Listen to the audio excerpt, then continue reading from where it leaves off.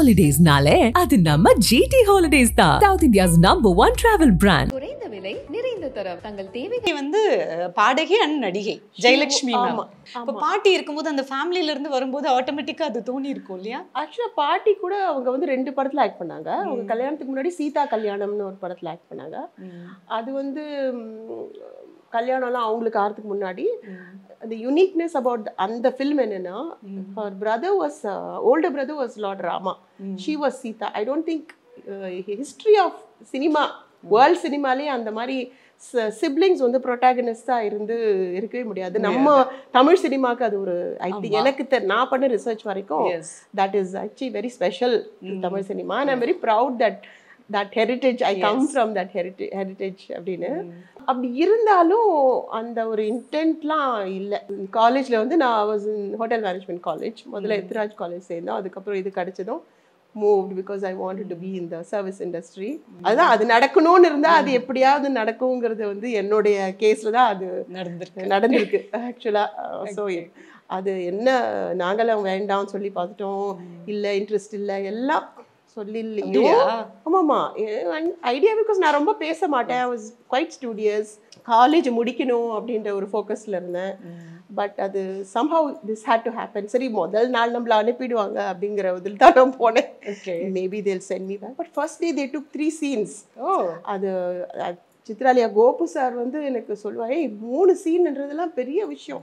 So அவங்க சொல்ல சொல்ல தான் அந்த என்கரேஜ்மெண்ட் கொடு கொடுக்க தான் I was more drawn to the film making அந்த இண்டஸ்ட்ரி அண்ட் ஹவு பிக் இது வந்து ஒரு கோல்ட் பிளாட்டரில் வந்து நமக்கு கிடைச்ச ஒரு சந்தர்ப்பம்ன்றது அந்த ஷூட்டிங் நடக்கிறச்சே தான் நான் புரிஞ்சினேன் ஆக்சுவலாக ஃபர்ஸ்ட் ஃபிலிம்லயே வந்து ஸ்விம் ட்ரெஸ் போட்டு நடிக்கும் போதெல்லாம் எப்படி இருந்தது அது? சி நான் ஸ்கூலில் வந்து I mean I was an athlete so நான் வந்து இந்த ஸ்போர்ட்ஸ் மீட்டில் ஓடுறது ஷார்ட் ஸ்கர்ட்ஸ் எல்லாம் போட்டு அப்போது பழகின ஒரு விஷயம் தான் பட் இது ஸ்விம்மிங் பூலில் வந்து நான் was also learning to swim so swimming பூலில் swim suit தானே போட முடியும்? இது ஒன்றும் அதுக்கு உண்டான அட்டையர் தானே அது.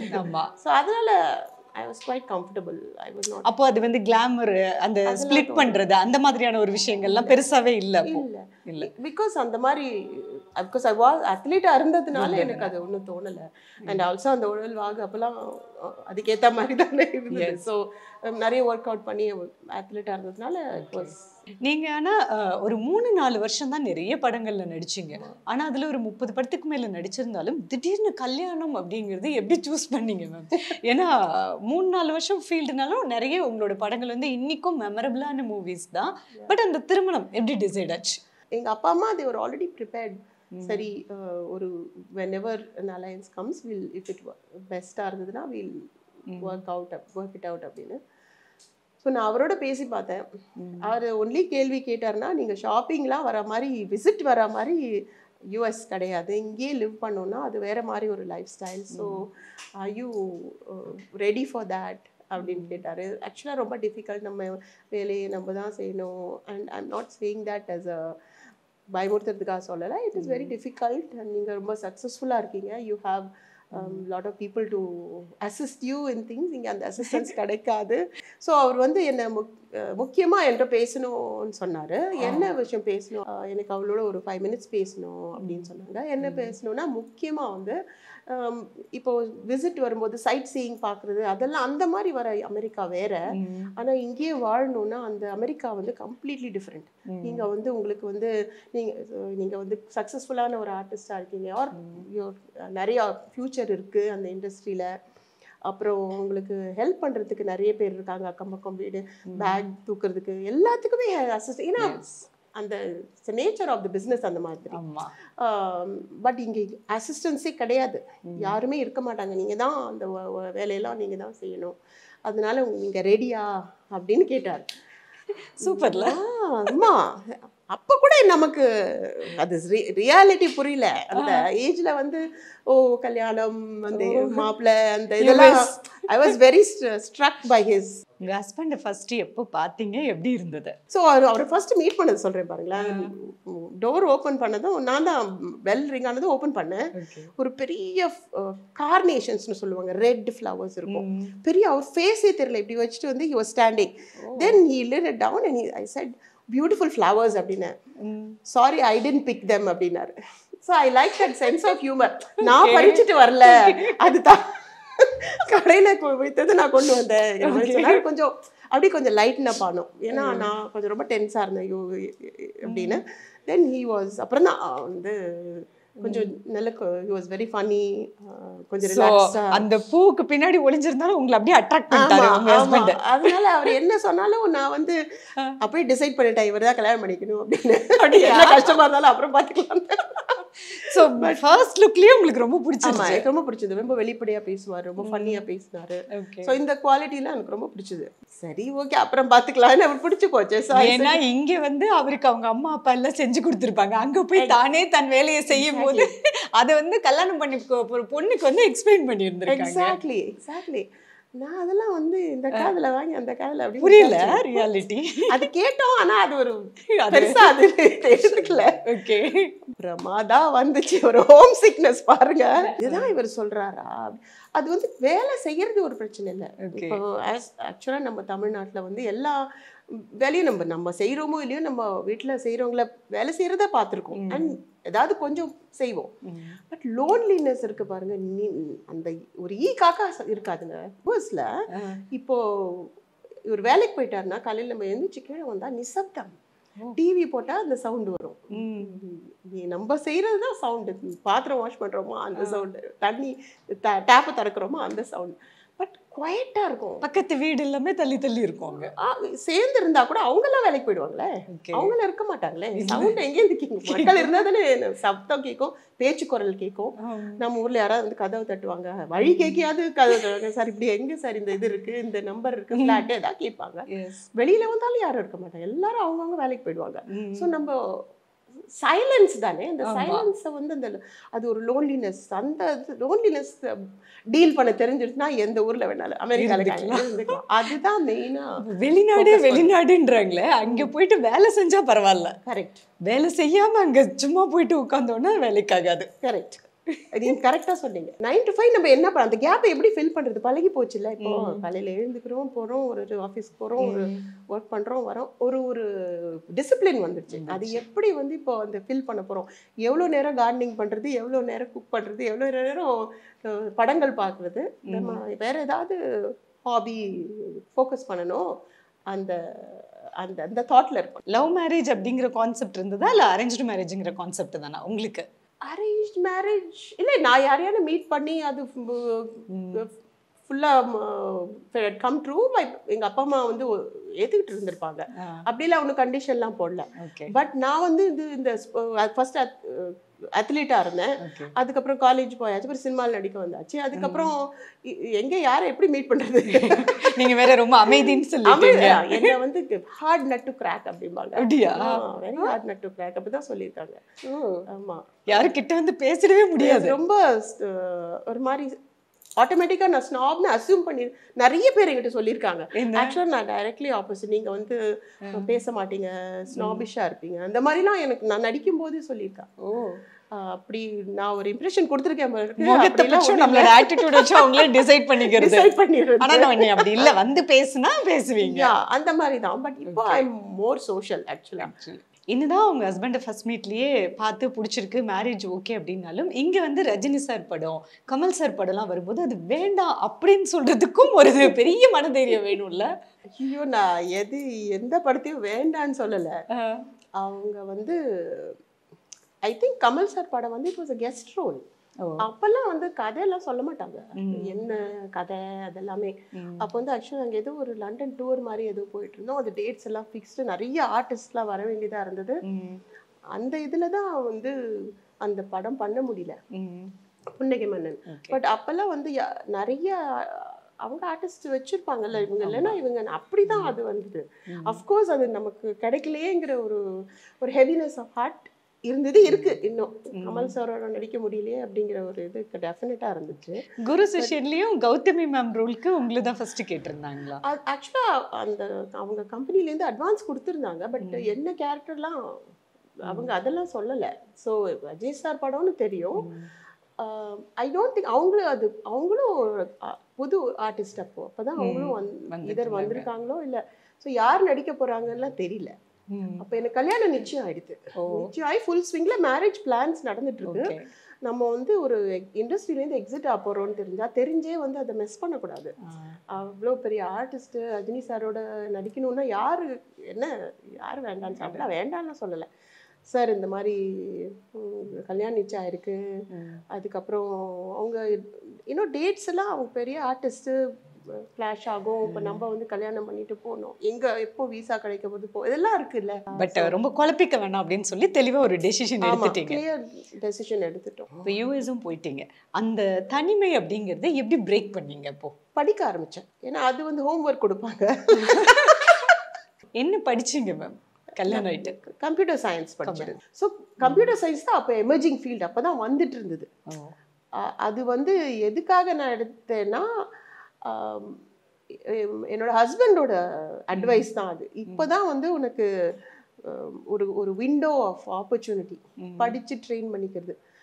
இந்த இது மிஸ் பண்ணிட்டேன்னா when you have when we have children அப்போ வந்து அதுங்களை will be involve in racing them நம்ம அது திரும்ப கல்லூரி போய் படிக்கிறதுங்கிறது ஃபுல்லாக அதில் ஃபோக்கஸ் பண்ணுறது இப்போ பெட்டர் டைமாக இருக்கும். வந்து திங்க் படிக்கும் அப்படின்னு. சூப்பர்ல அவரோட கைடன்ஸ் தான். ஹஸ்பண்டோட சப்போர்ட் எந்த அளவுல இருந்தது மேம் கல்யாணத்துக்கு அப்புறம் அப்போ. உங்களை காலேஜ் போய் படிக்க வச்சாரு.